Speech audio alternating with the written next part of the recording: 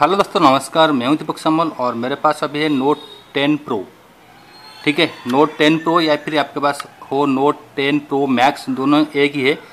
अगर आपका इसमें लैंग्वेज हो जाता है चेंज तो कैसे इसको डिफ़ॉल्ट लैंग्वेज इंग्लिश करेंगे, आज इस वीडियो में हम जानेंगे। तो पहले आपको ढूंढना है सेटिंग आपका सेटिंग कहाँ गया देखिए, यहाँ पर आपको सेटिंग मिलेगा। नहीं तो आप नोटिफिकेशन बाद जो है, यहाँ से भी आप सेटिंग में जा सकते हैं, यहाँ पर। सेटिंग में चले जाइए, यहाँ पर।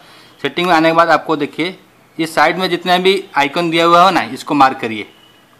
ठीक है? आइकन को देखिए आप। यहाँ पर लिखा होगा एडिशनल सेटिंग थ्री डॉट होगा और लिखा होगा एडिशनल सेटिंग इसको आपको सिलेक्ट कर लेना है। यहाँ पर आपको मिल जाएगा लैंग्वेज यहाँ पर सेकंड वाला। ऊपर है आपका डेट एंड टाइम नीचे आपका है लैंग्वेज एंड इनपुट इसको सिलेक्ट कर लीजिए।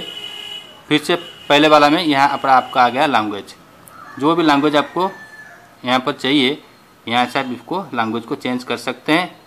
देखिए, मैं थोड़ा यहाँ पर एक लैंग्वेज कर लेता हूँ, हिंदी देखिए यहाँ पर, हिंदी में हो गया देखिए। मेरा सब जो जितने भी लैंग्वेज था ना यहाँ पर देखिए, सब कुछ यहाँ पर बैग जाता हूँ अभी मैं। सब कुछ हिंदी हो चुका है। ठीक है? तो मैं इसको फिर से इसको कर लेता हूँ इंग्लिश इंडिया फिर से जो लैंग्वेज था वो सब इंग्लिश हो चुका है। ओके दोस्तों thank you watching video thank you